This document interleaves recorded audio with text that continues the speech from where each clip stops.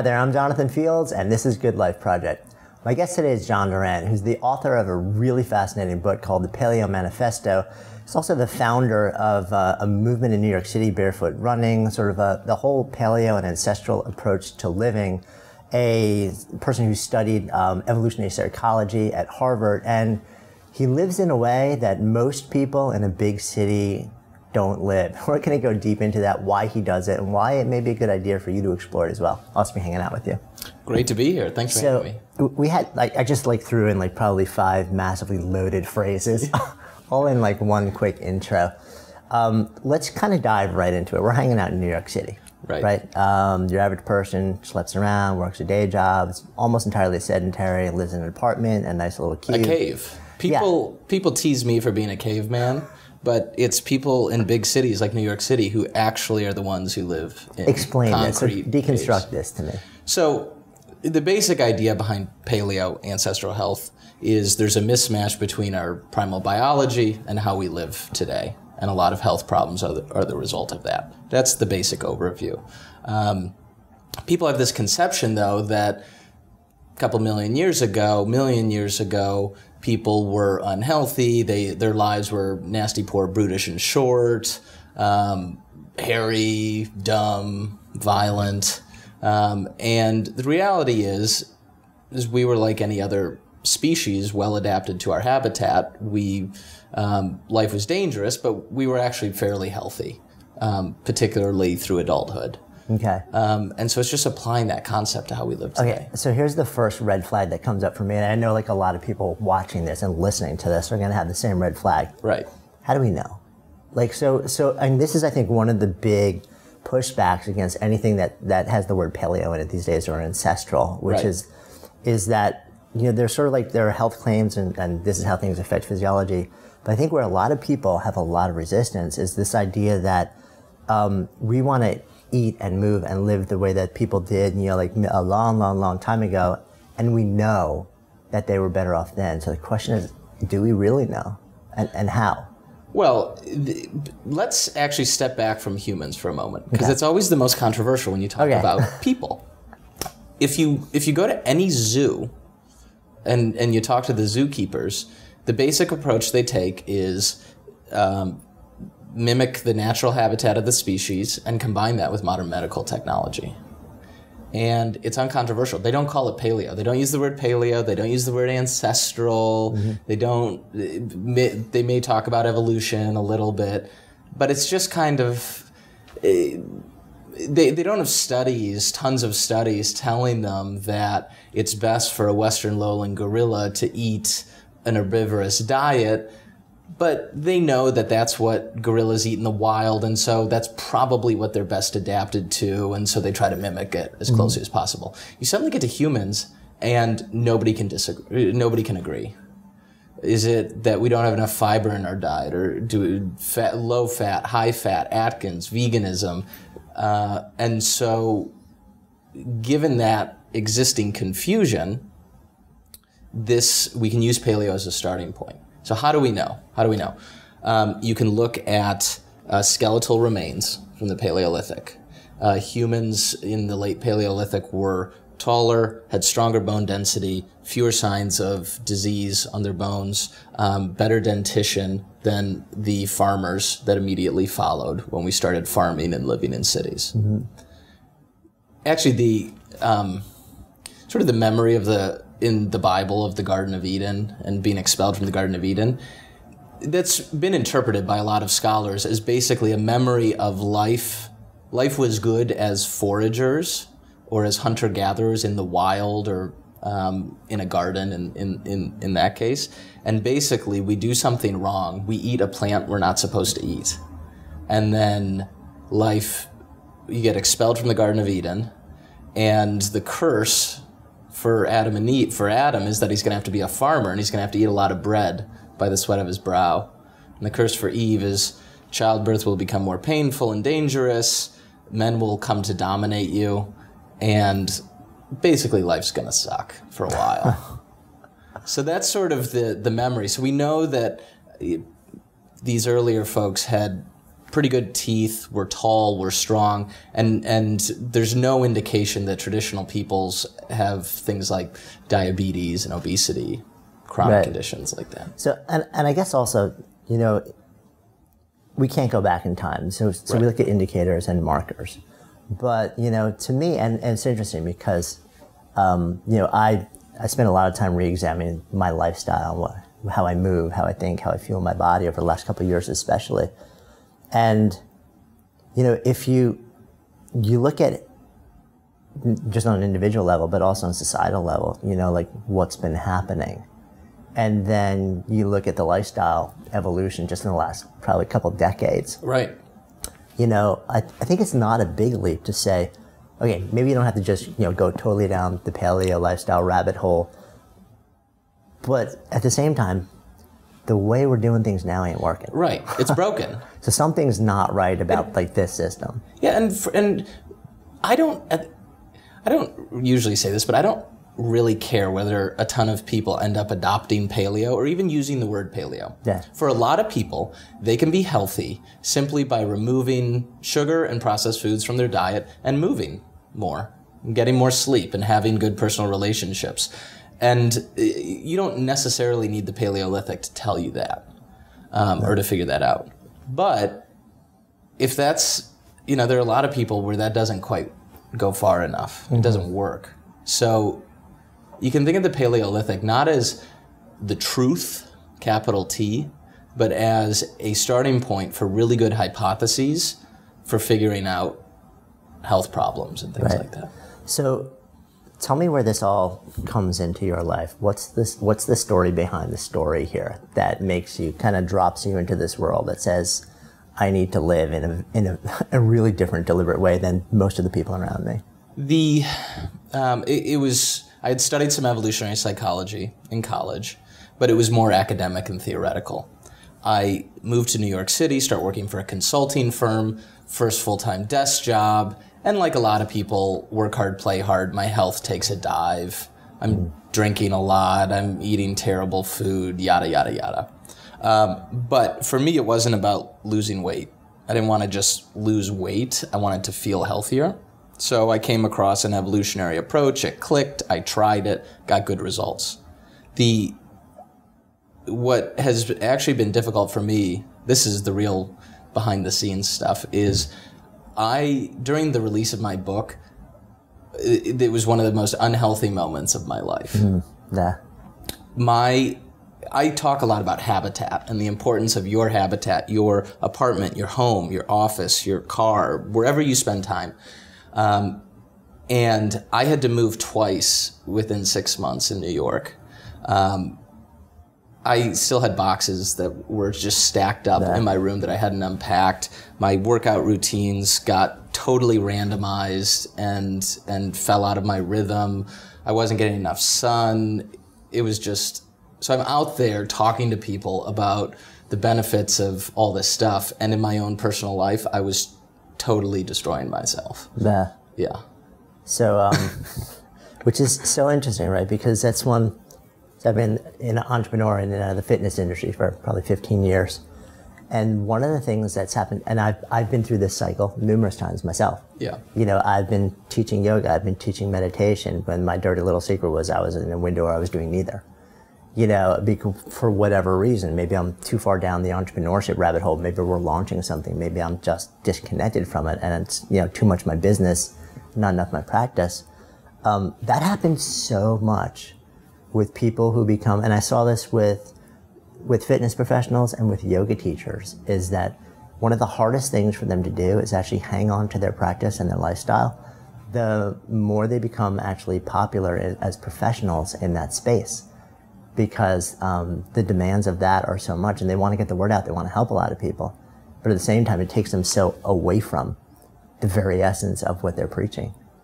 Yeah, it uh and you know, when I'm going into a CrossFit box or whatever, I I sort of feel on, you know, because I write about CrossFit and and and that's one of the things I'm talking about.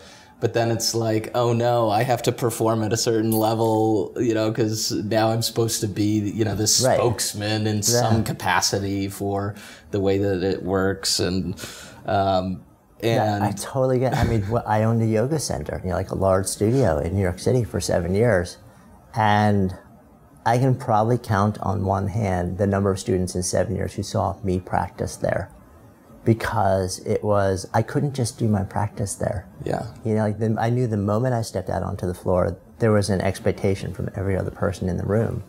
And if I was like burned, if I was just having a bad day, if I just wanted to go inside and like stay in child's pose for half the practice, I felt like I couldn't do it. I couldn't honor what I really needed out of it, just perform at whatever level I needed to because like there were eyes on me the whole time. And it's such an interesting dynamic because it should be anything but that.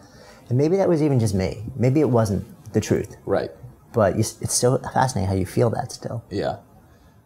Well, the one of the things I've realized is the importance of div- whenever you feel down or unmotivated, low energy, whatever, is finding things that are healthy that get you back into a good mood. Hmm. Because a lot of people can get into smoking cigarettes or having another cup of coffee and something that's very transitory and gets you sort of hooked in a negative feedback loop. And so the challenge is finding things that make you f- like remotivate, re-energize, but put you in a positive direction. One of the things I really love because it makes me feel good and it doesn't require a lot of discipline or effort. Mm. right? Because if you're in a low motivated state, Right. you need something that is Yeah. is hot and cold exposure and going to the Russian baths. Have you ever been to the Russian baths here? No, I have so many friends who like have told me about them, but I, and I've lived in the city forever. I've never actually been. It's it's 35 bucks. You can go for all day or as long as you want. And it's saunas, steam rooms, cold pools, and you alternate between the two. Right. Um, I have a chapter on thermoregulation in my book, and you, I really come to love the cold, the cold pool.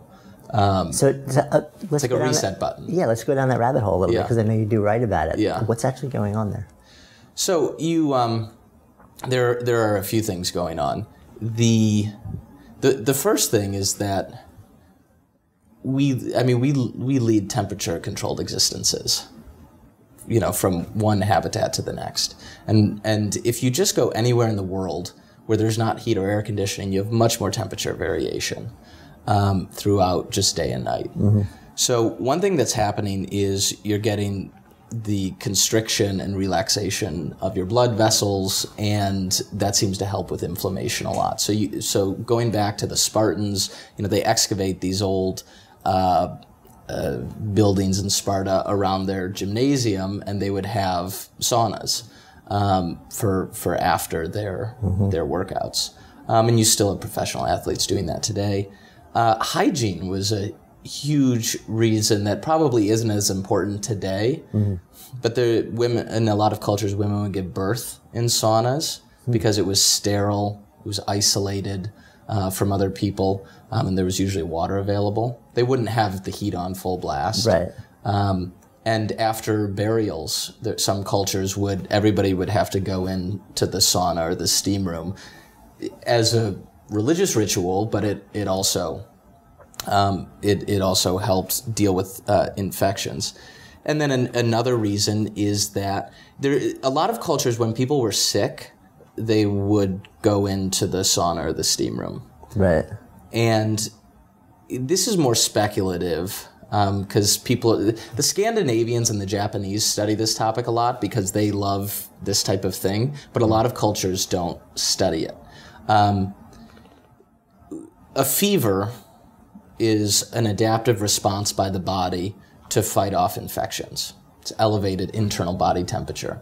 And so there's some people think that by going into a hot place um, it it makes it a little bit easier for your body to raise its its internal core temperature. Now your body's dynamic, and so you're sweating and you're doing things to Right.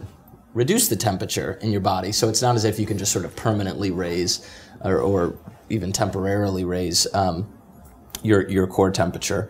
But um, it may help with essentially sort of encouraging a fever to help fight off Yeah. the sickness.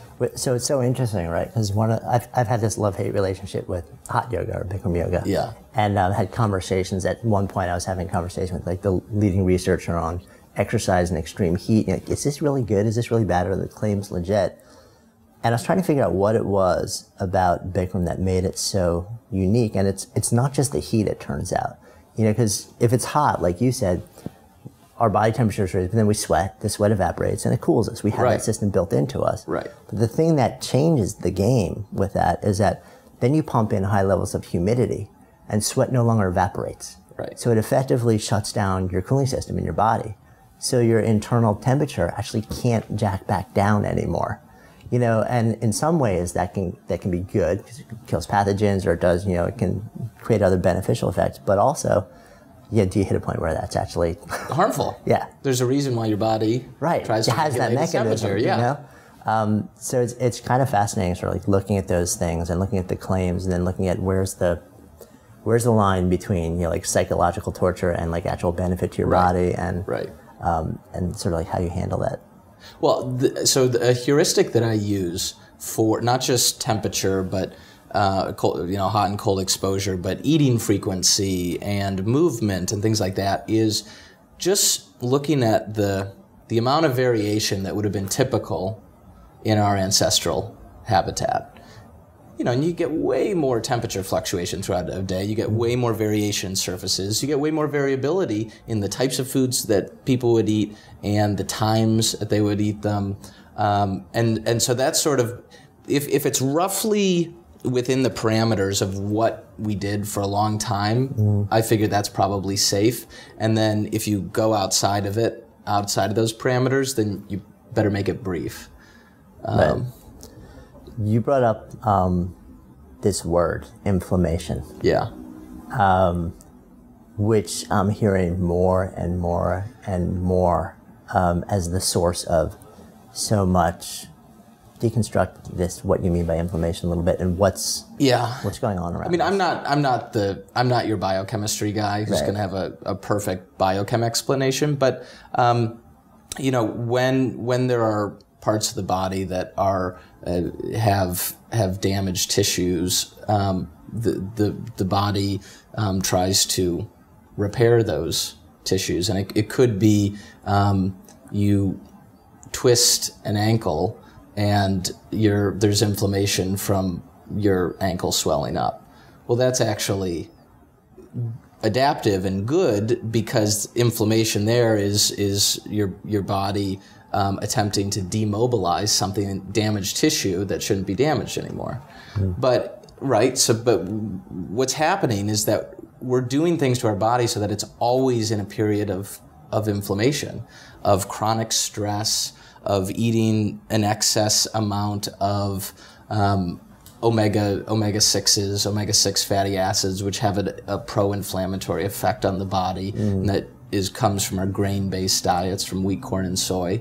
Um, uh, releasing cortisol from drinking too much coffee or staying up too late and having poor sleep. So we're, we're always in this state of flight, fight or flight state, and, and it's extremely damaging.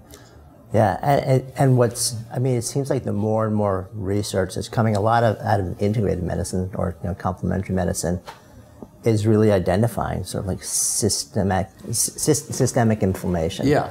as this- autoimmune conditions. right uh, as this just you know it's like there's inflammation there's autoimmune response to it and it's manifesting in so many different forms of pain or disease or disability throughout the body um, and it's fun you know like mark hyman is one of the leading voices in that space you know basically says you know like the, the, the, it's not about the, the disease like the, all the names that we give everything it's just we're naming symptoms right. rather than sort of going on and again i'm not a doctor and i'm not Yeah. not a, you know in the clinical world but um, the notion that a lot of the things so you know we're in a time where non-specific pain pervasive like never Yeah. before i I know i've experienced it in my own body you know or where you know chronic disease or inflammation stuff like that that isn't all that treatable by traditional means a lot. I mean, I, it's almost, and maybe I'm at a point in my life also in my late 40s where a lot of people my age are feeling this. Well, and you start to realize that pills and surgery It's, it's not fixing it. doesn't address it. Yeah, and and maybe, and of course, like no knock on mainstream medicine. There Right. are times where that's the appropriate Right. response. Right. Well, it, it, if if you have an acute health problem, gunshot wound, broken arm, you have a heart attack, um, you know, complications during pregnancy, our medical system is fantastic. It's terrific. Um, but it's all these chronic health conditions that you can't cure or reverse with with pills and surgery. Yeah. So, so that gets back to lifestyle. Right. Nutrition, what you put in your body, the way you move your body. Um, sleep, you mentioned, you brought up, which is kind of counterintuitive because, um, you know, if these are all triggers for inflammation, which then becomes sort of like the potential source for a lot of stuff. Right. um, and then you want to reverse your way out of it. You know, it's kind of fascinating is it pulls back to these simple things we've been taught as a kid. The difference being we've always been taught like sleep matters, nutrition matters, movement matters, but It's doing it that's hard. right, it's doing it. And then also, I think where a lot of the confusion comes is doing it right. Yeah. You know, because okay, so we, nutrition matters. Like we've been taught. There's nobody I know that hasn't been taught as a kid like you are what you eat Right. right? But then we go through a period, you know, at least in the United States, where it's like, well, here's what you need to do. And then enough research comes out and says, no, that was wrong. Here's what you need to do. And then 10 years later, oh, no, no, no, that was wrong. Here's what you need to do. And it seems like we're at a place now where, you know, there's been a lot of advice for a lot of time and we're sicker than ever before. And now, so you get things like paleo or like, you know, various approaches to nutrition that are more based in one of the cores across almost all these things is removing gluten and wheat Yep. and grains. So, talk to me a little bit more about this and, and why you believe that this is sort of like the right approach. I would love to destroy the diet book industry.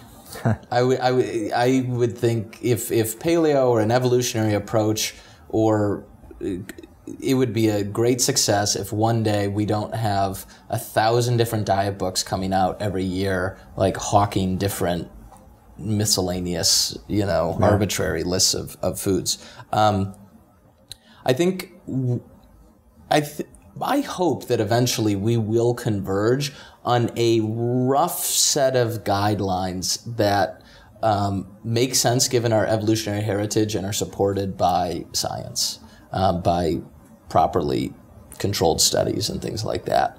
Um, and and I think it's roughly going to look like this. It's roughly going to be um, avoid a heavily industrial diet processed foods, sugar, vegetable oils, things like that. And then be careful of a heavily grain based diet. Um, concentrating your diet in wheat, corn, soy, and a few other staple cereal grains. And and then there's going to be a lot of stuff around the edges, eating nose to tail, fermented foods, um, eating frequency, fasting, things like that. But but I think those are actually going to be the big um, what I what I hope the sort of the simple stuff. Yeah. What's for those who I know there's been a lot of written, a lot of shared about this over the last few years, but for those who sort of haven't, don't know the basic argument around grains, Yeah. lay it out a little bit. So, grains are a type of seed, and um, when most people most people hear the word seed, they think of sunflower seeds and things like that. When I say seeds, I actually mean a broader category that include the, the reproductive organ of the plant: grains, legumes, nuts, and seeds. What's interesting about seeds is that um, plants protect them. They're the reproductive organ of the plant. It's where the next generation is coming from.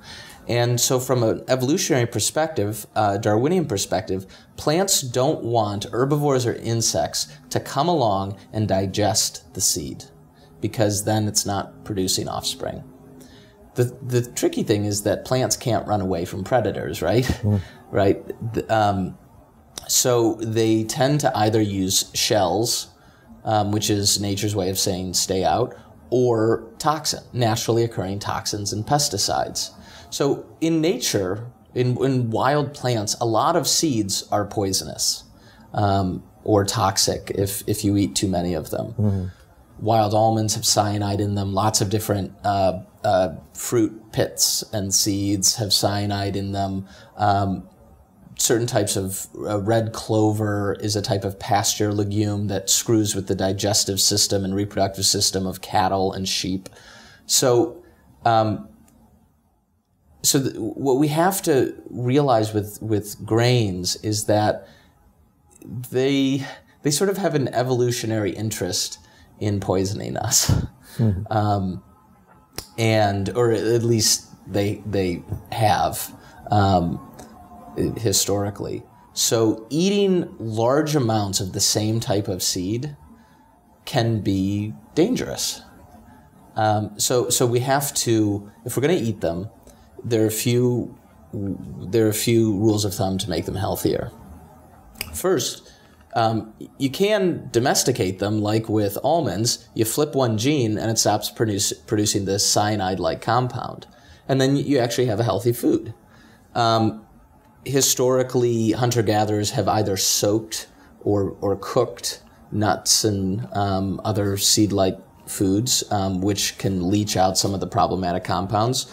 Uh, fermenting uh, can do the same thing. Uh, cooking can, can do the same thing, and eating a diversity of different plant foods. So, so the the evolutionary perspective on seeds is we basically didn't start eating large amounts of these seeds until the agricultural revolution about 10,000 years ago. And then suddenly we started eating tons and tons of the same few uh, cereal grains That being like wheat and corn, Wheat. soy. yeah, wheat. Soy's a little bit later. Uh, corn was was New World. So, but in in the Middle East, it's I think it's wheat, barley, oats, um, and then you get rice more in the Far East. Um, and and it's funny each each grain you take any grain, and if you look at people um, throughout history that have pretty much eaten that and nothing else, peasant farmers and things like that, there are always these weird conditions that people get pellagra uh, with corn, um, beriberi with rice. Um, basically, nutrient deficiencies from having a staple cereal grains in their diet. Um, so, so that's that's sort of the the big the the biggest evolutionary insight from So where's the connection between that and that being a source of inflammation in the body? Well, the um, so the gluten. Take gluten, which is the main protein in wheat and some other some other grains. Okay. It the, nature of the protein is that it irritates, eaten in large quantities in particular, it irritates the lining of our stomach. Um, then our immune system um, responds to that inflammation, um, and if if some of the, those proteins make it into our bloodstream, leak through the stomach and make it make it through the through the bloodstream, gut permeability, it's called. Um, then then the immune system latches onto that protein and says, "Here's a foreign invader," and it attacks that protein in the tissues around it. Um, and we're realizing how important gut health is to all sorts of to health throughout the body. So if if you have a persistent if if you have persistent inflammation and a damaged stomach, it can lead to mental disorders. Celiacs way overrepresented among schizophrenics, um, people with depression, debilitating depression. Um, celiacs have there are much higher rates of different types of mental problems. Um, and they're realizing that the gut and the brain are if you you have you have the the as you have tons of neurons in your stomach that are directly tied. Yeah, and we were just, you know, we were talking about this a little Yeah. bit before we, we came on air today, and it's that's I think it's such a foreign notion to so many people, and I'm still sort of like piecing it together. You know, when you start to, to think, okay, what I think, like everything from literally my ability to problem solve, to be in a good mood or in a horrible mood, to be you know like you know psychologically sound, um, can be af- affected in a pretty profound way by what's happening in my gut. Right. It seems so foreign. Mind and body. So many people. Like how could how could inflammation in my gut or bugs, you know, how Yeah. could the bacteria, the gut biome, affect how I'm thinking. It just seems like I think so many people have. How do you buy that? Like, what's the connection there? You know, the, for some reason, maybe it's in the Western world more, people have set up this distinction between mind and body as if they're two different things. And they're not. We're clearly consciousness, cognitive processes um, takes place in the brain, but it's not as if the rest of the body is dumb, right? Um, so to some extent, it's an artificial distinction. Yeah. You, you, you were sharing two examples with me before about sort of like how um, critters in The- your gut, you know, like critters in your gut, basically, like Oh, bacteria or parasites, can, I mean, literally change the way that you behave in a really radical way. Yeah, this is some of the coolest, wildest stuff, and it's really freaky when you look at how microorganisms can can not just influence our health, but change how we think. So we were talking about Toxoplasma gondii, which has been written up over the last few years. It it's a it's a parasite that um, makes mice unafraid of cats. So mice are out there eating eating cat feces. They get uh, eaten by the the cat. The parasite lodges, um, it goes through the digestive system of the cat, comes out in its feces, infecting the mice that eat the feces. But it changes the brain chemistry of mice permanently to make them unafraid. And it's been implicated in schizophrenia. So a this isn't proven, but there's a lot of published papers thinking that Toxoplasma gondii plays a partially causal role in schizophrenia. Um, you know that that's pretty mind blowing. Yeah, I mean, the notion that what you eat, which then ends up in your gut, can play a role in your psychological health Yeah. or profile is pretty mind blowing. Yes, right. It's not something that I think people. It's not something that is intuitively like I'll just buy that, but I guess there's more and more research going on on this now, and uh, it's pretty eye-opening stuff. So there was a study on flu, influenza. It was small, small study. I don't want to overhype it, but it it it showed that students who were infected with flu, exposed to, to flu, um, became much more social and extroverted in about the 24 hours to 48 hours before the onset of symptoms. So the idea was that um, it's it's possible that the pathogen was basically hijacking our behavior to help it spread. Because you go to a party and and and you're exposing other people while you're there. We know that influenza and cold viruses when they cause people to sneeze, that again is the pathogen hijacking our behavior for its own benefit. You know, you sneeze and you, you shoot all these particles, you know, hopefully you cover your mouth, but you shoot it out at all these other people around you, which helps the, the pathogen spread. Yeah, and and and you had talked about also um, this when the thing about um, was it gorillas Gorillas. where they changed the diet? Oh, yeah, yeah, yeah. Yeah. So um, these two gorillas uh, at the Cleveland Zoo, they changed the diet from uh, fiber bars essentially to leafy plants and vegetables. And one of their behavioral problems was that they would uh, pluck their hair um, all day long to the point where they had noticeable bald spots. And when they switched their diet, that behavior almost went away entirely. They still did a little bit, but not very Right. much. Right. So it's almost like an obsessive compulsive psychology. Right. and which was largely reversed. And I guess, I guess it's probably impossible to prove causation with something like that. But you have the correlation. It's like, okay, we change the diet, and all of a sudden the behavior goes away Well, and to a large extent. if you or I are the one that has the issue with hair plucking or something else, it doesn't matter if you establish causation. It's All like, it why matters is that it goes try away. Yeah, exactly. Right? It's like, And- what's the what's the risk of trying eating? Yeah. You know, like pulling grains out or eating more greens or doing whatever it may be. Yeah. I mean, the risk is it doesn't work, and you had a little bit more green in your diet for Right. a while. Well, and, and to finish off the gorilla story, I then heard of a woman, I believe in Texas, who shifted to eating paleo and, and through removing, I don't know whether she pinpointed if it was gluten or not, but she had a hair plucking uh, OCD disorder. And, uh, and it went away entirely when when she changed her diet. And, and that's, you know, that's debilitating. That's who you are. That's, uh, you know, how you look and and how other people perceive you, Yeah. and to realize that something that you probably think is normal or, or something that you're going to have to live with for the rest of your life can be altered by how you eat. Yeah, I mean, it, it is fascinating, and I think that's where the big, the big leap is for a lot of people. It's like I think if you tell a lot of people, okay, the way you eat, the way you move your body, the way you sort of like build your habitat, can have a profound effect on the classical signs of health, you know, like disease prevention and this stuff, and more energy. All right, I can buy that. Yeah. Maybe we can debate about like what those things are, like how to do it right or wrong under each one of those categories. But I think one of the big leaps is, you're like yeah, what I'm putting into my stomach, it may change my behavior in a pretty profound way, and then have a huge social effect on on my life. Yeah.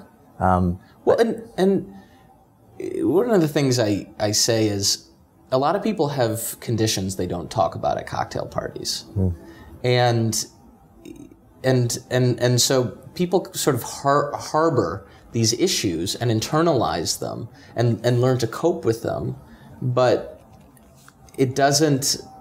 It, you know, for those people, why not experiment and try and see if see if you can address it through some lifestyle Yeah. changes? And I think that's a lot of, you know, which kind of circles us around to like another big part of who you are, which is it's sort of the ethic of the hacker or the biohacker. Yeah. Right. Which is fundamentally, I mean, do you self identify as like, I'm a biohacker? Yeah, yeah, I do. Okay. So, you know, so, and, and for those who don't know, I mean, there's a substantial and growing community around the world that essentially say, I'm, I'm going to quantify a lot of the way that I live my life, you know, like the things that I, that I do and the things that I eat and the things that I consume. And then as much as I can, measure Yeah. what the effect is so that I can figure out how can I change like the way I'm interacting with the world and, and to optimize the way that I exist in the world, to feel better, to do better, to perform better, to whatever it may be.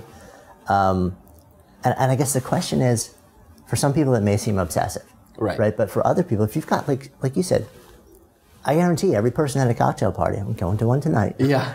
Right. There's something that they're not telling anybody else. Nobody's going to bring up dealing with. their irritable bowel syndrome. Right, at the- exactly. Know? Actually, one guy did. But that was.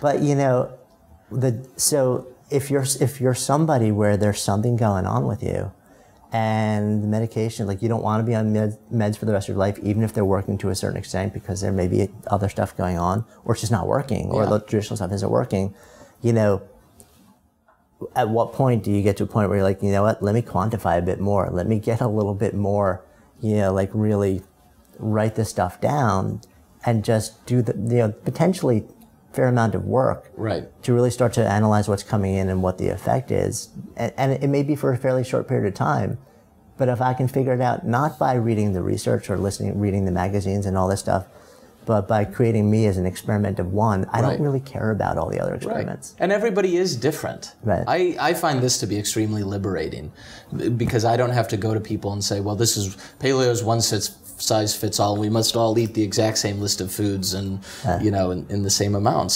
And uh, you, the end the end point is you have to create your own diet. You have to create your own habitat, your own lifestyle that you are going to live in. You're a unique person. You have a, a unique genome. Uh, you have your own gut microbiome. You have your own tastes and preferences and injuries and allergies.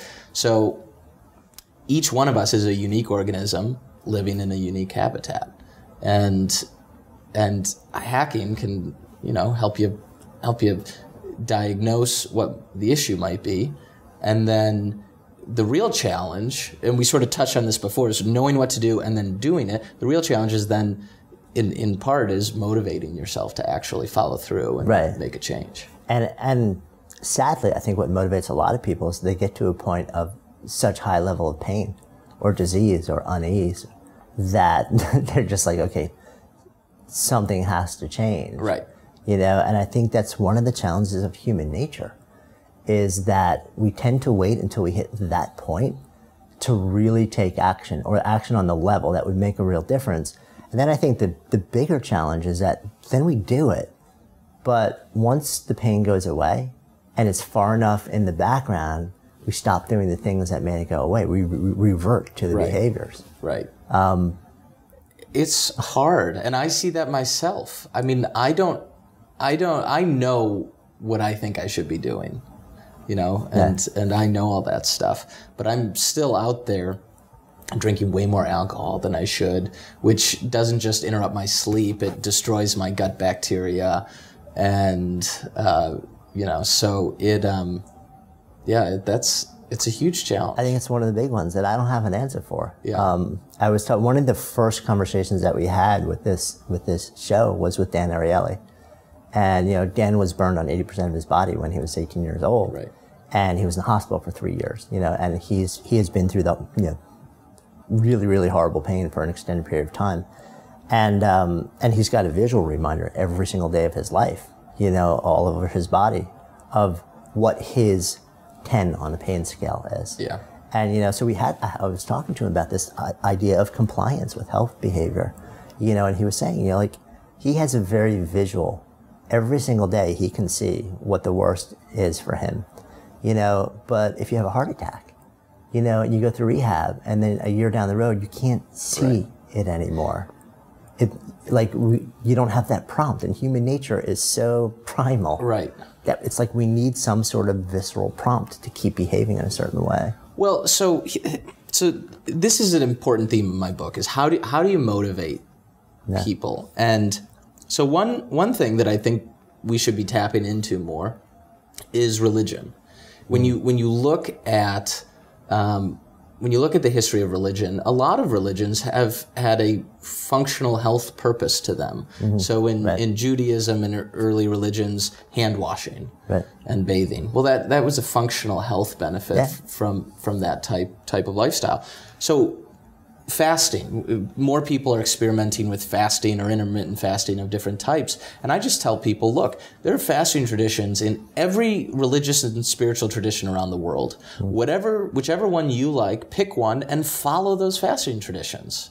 You know, if if it's Yom Kippur and you're Jewish, or uh, you want to fast during periods of Lent and, and you're Catholic, or Greek Orthodox has all sorts of uh, fasting traditions. It amounts to veganism plus shellfish uh, celib- and celibacy for, I think, about a third of the year.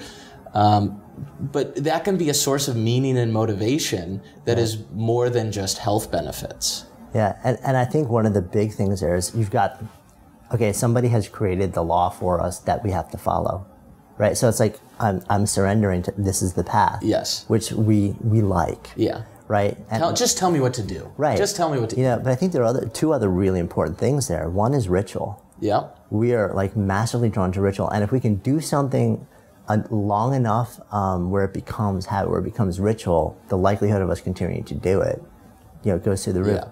But then I think the third thing, which is really important, and I, to me, this may be the biggest power of of, of religion in turn, like in this context, is the simple fact that you become part of a community right? And so the, the social context of we're all doing this together, we're all following the same rules, we all support each other. And if I do this, I'm not abnormal. Right. You know, so this is the behavior that we all follow, and we support each other in following this behavior. It's massive. It's huge. And so to tie religion to to this, take CrossFit. CrossFit has been described as a cult. Right. And my perspective is bring on the cults. This country needs this world needs more fitness cults. If it's right, if it's a, if you're bringing people together around the behavior that's you know like empowering on some level, you know, Yeah. and we can have a debate about whether the actual CrossFit modality Sure. is like good or Right. bad. That's Yeah. that's not the the idea is anything like if you're building a cult around positive behavior yeah.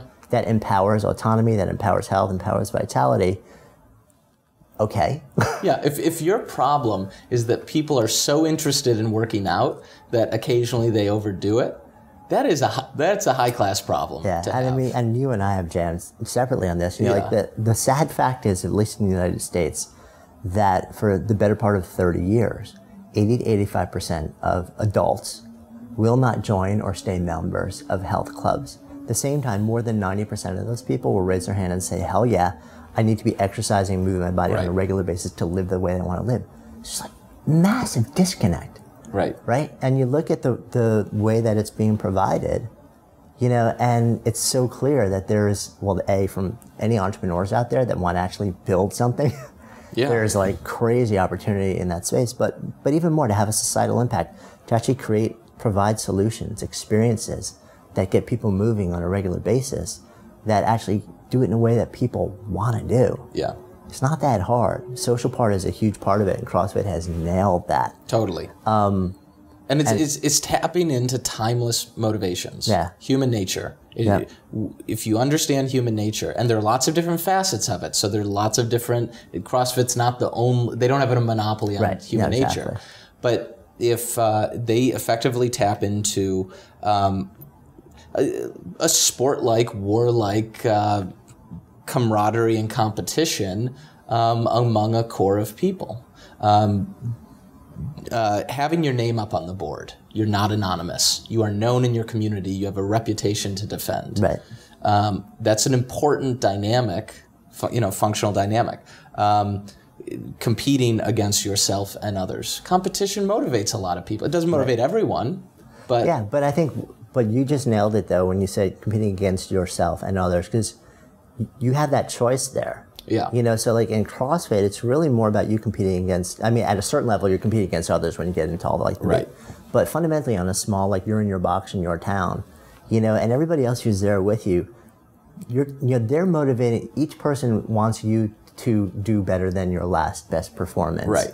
And that I think is huge because I think it, people find it much easier to lean on social support to beat their own best rather than to try and beat everybody else in the group because Yeah. then it becomes a zero sum game. right. Whereas instead, no, everybody can win. yeah. You know, and that's so empowering and it's it doesn't exist in most of the solutions provided in the mainstream health Yeah. and fitness world for adults. As, for kids, that's all it is. I mean, we all worked out all the time when we were kids. We called it play. Right. Exactly. Who knew? Yeah. Right? And we wanted to do more and more of it until like we actually dropped. You know, as soon as we walked in the house, we had nothing left. And Kids don't need machines to play. They don't even know how to use a treadmill. What is this for? Right. And if you, and so it's funny. You think, you think to yourself, if I put a kid on a treadmill, like five seconds later, they'll they'll be bored out of their mind. They'll wander off. They'll at the- wan- They've been hanging off the side. But as adults, we're supposed to be okay there. Yeah. You know, all of a sudden, and no, you know, the, the same thing that the, the mass rep, we're not geared for repetition. right. You know, it's just we experience that as massively boring and massively painful. You know, whereas when you're a kid, like what defines the movement is constantly novel, constantly changing, Right. everything you do, and the nature of the activity demands intense focus. That's right. Because if it's huge. Because if you're not training some sort of skill, your brain isn't engaged. Right. Like for so, I think about some of the physical activities that I've gotten very obsessive over in in my life, and some of them are as simple as skee ball or the free throw machine at like a video game arcade. You know, I could if I had unlimited tokens, I would sit there all day long Right. trying to beat my top Just score. talk to my wife about skee ball. She'll take you down. well, we'll just have to see about that. um, but why is there not something in the gym that I can go in and test accuracy and coordination and score against myself Right. and just keep doing it and have it have some physical component where I'm training balance, accuracy, coordination, all those things? Why is that not in there? Yeah, and and when you see places that pop up that are built around that, they explode. Yeah. You know. Um, anyway, we could go off on this. This big, and we have actually. Yes. yes. Um, so let's kind of rein it in a little Yeah. bit. Um, I, but I think the big idea here is really that movement matters and movement connected to ritual and social support. Yeah. Huge. And if you want to, and, and not just for movement, but if you want to actually comply, if you want to actually make that leap from being able to sustain some new behavior or set of behaviors for a long period of time, like finding that tribe, that sense of belonging built built around those behaviors. It's not mandatory. There's some people that do it without, Right. but it can become a huge benefit in being able to sustain them long term, long enough to become habit and ritual, and then it becomes more internalized. Completely. Um, and finding also ways, I think, to enjoy the actual the food, the activity, whatever it may be. right. In and of itself. Yeah, exactly. It's interesting because we're having this conversation, right? And you're not entirely coming out of, but you're kind of like on the the down slope of launching this book, massive media tour. Yeah. Going all over the place, um, traveling like crazy. And now it sounds like settling back a little bit more in your New York digs. And, and like you shared when, earlier in the conversation, this has been one of those windows where it's it's so disruptive to your normal schedule to what you normally do that some of those rituals and some of those behaviors that you really you live and breathe and normally really buy into become massively hard Yeah. to keep going on the road as you come back to this because a lot of people go through this we go through these intense spurts you know and then we never come back to those behaviors so as as you're kind of like starting to hit the downslope and getting more ability to, to come back to them um, what's sort of what's your approach to trying to slide back into that groove again Um, well, it's it's it's simple things. It's I enjoy, I, you know, I enjoy.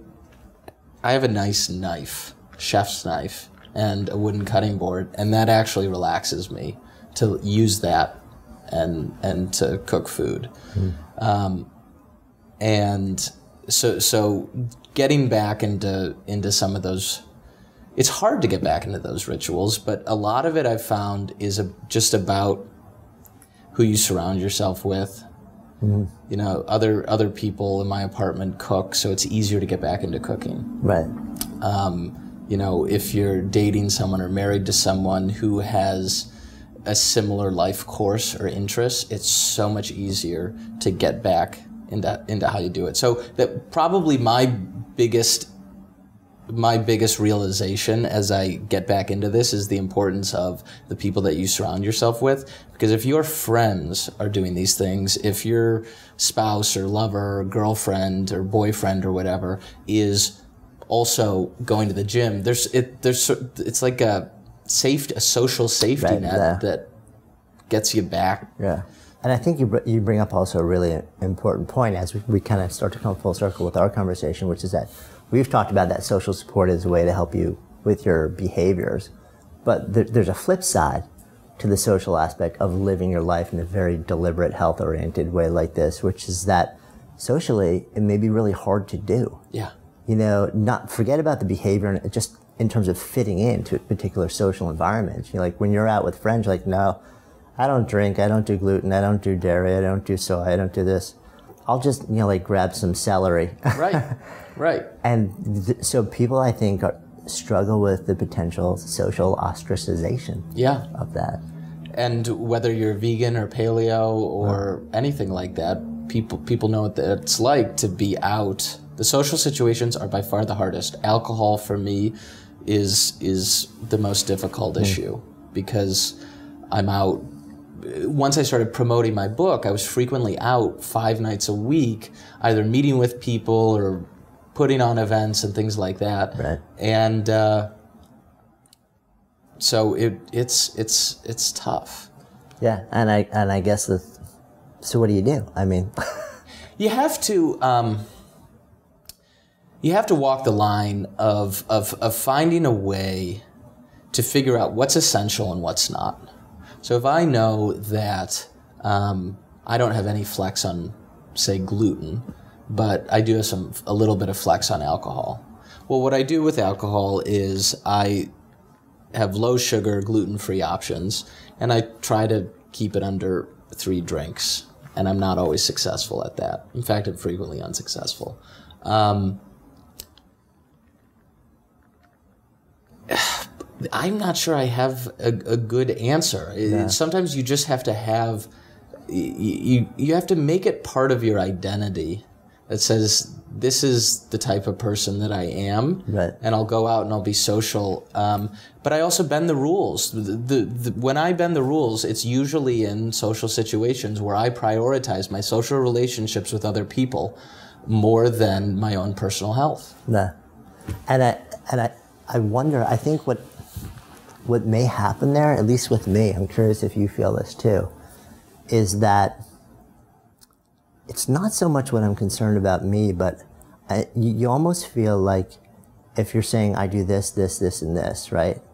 And then the people around you are pounding, you know, like all this other stuff that you're concerned that you feel like, like you're standing there in judgment of them Right. and they they start to feel really weird Right. About what they're doing and you just don't want to create that dynamic Yeah. you know so you almost are tempted to back down from your beliefs because you don't want to feel like you're judging them. or, right like, you're you're the per, you're the one person and they're the group Yeah. it's it's at the at the beginning of any of these changes it's really hard for the early adopters it's Yeah. very it's very difficult um, and it doesn't have to you know it doesn't have to be paleo it could it could just be an alcoholic that that could never have a drink but wanting to be in social situations. It's extremely extremely difficult. And w- the, it- it's the power of normal. You know what everybody is doing momentum of society and momentum of beliefs is an enormous enormous force. Yeah, which is why I think when we surround ourselves with people with that same behavior set and same belief, we feel much more comfortable. And it's always those like bursts where we have to exist for a chunk of time outside of that. That's always the big challenge Yeah. and like handling that. Um, I don't think there's really an easy answer to it. I think you do the best that you can um, and kind of figure it out um, as you go. yeah So um, the name of this project is Good Life Project. Um, so when I offer that term out to you, like to live a good life, what does that mean to you? What comes out of it? I I think that happiness is a little bit overrated, and a lot of people. When you take an evolutionary look at our emotions, mo- our emotions did not evolve to be. A lot of them did not evolve to be permanent states of being, and so I don't view this notion that uh, you can be in a state of happiness consistently over a long duration. I think is a little bit of a fool's errand, and that it's hard to do that. Um, I in in my own life, it's what I focus on is a combination of accomplishments, accomplishment, and personal relationships, and uh, and sometimes those are mutually exclusive. Um, no, but I, I I think a good life is one where where you focus on achieving something and and that could be building a company it could be raising a child it could be it could be um, you know cooking delicious, amazing food. It could be your career. Um, so I, I think accomplishment is important, and but accomplishment often means being unhappy for periods of time. But um, and then and then in social relationships, I think is a, is a pretty straightforward one that nobody would disagree with. But um, you know, I'm I'm I'm at my best when I have a core group of friends around me and things like that. So I I, I tend to think that a, that a good life is is more the when I was when I was in college, I think a lot of people do this is they get very philosophical and try to find you know the the Buddha is sitting cross-legged on the hill mm. somewhere that there's a meaning of life out there. And I've when I thought the most about that I tended to I felt like I overthought life. And I've sort of scaled back and I just try to I don't try to necessarily stay in the moment all the time but I do find that it's a lot of rituals and routines of being around people that can routinely make you laugh um, is far more important than finding some some grand meaning of life. So Like that. yeah, Awesome. Great conversation. I loved Thank it. Thank you. So I'm Jonathan Fields. My guest today has been John Durant, author of The Paleo Manifesto, signing off for a Good Life Project.